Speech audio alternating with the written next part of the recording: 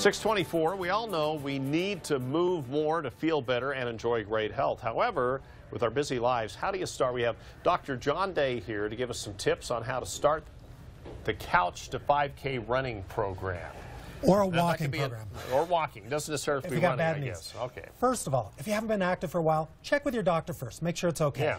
But assuming all is well, let me give you four simple tips to get from the couch to a lifelong fitness Okay, so the, the first thing is you got to commit to it. You got to commit. Public commitment works best. I like a two-month goal. Why, Why- two why months? two months?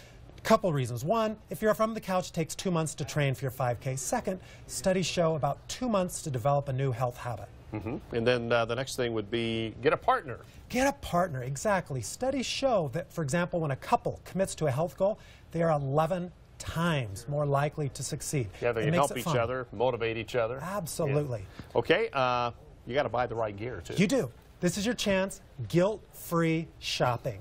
Get a nice running pair of running shoes, walking shoes, nice new outfit, but there's a catch, there's a rule. Mm-hmm. You have to put it on first thing in the morning. Whether or not you exercise, that's up to you, but you have to at least put the gear on if you're going to blow blow off the day. Okay, and finally, uh, a tracking device. Are they valuable? They're fantastic. Studies show that just wearing a pedometer, and you can get them on your smartphones, Yeah. Fitbits, whatever, just tracking yourself will give you subconsciously 2,500 extra steps a day. That's two of the 5K without even having to think about it. All right. And for more information, drjohnday.com. Absolutely. All right. Thanks for stopping by. Thanks.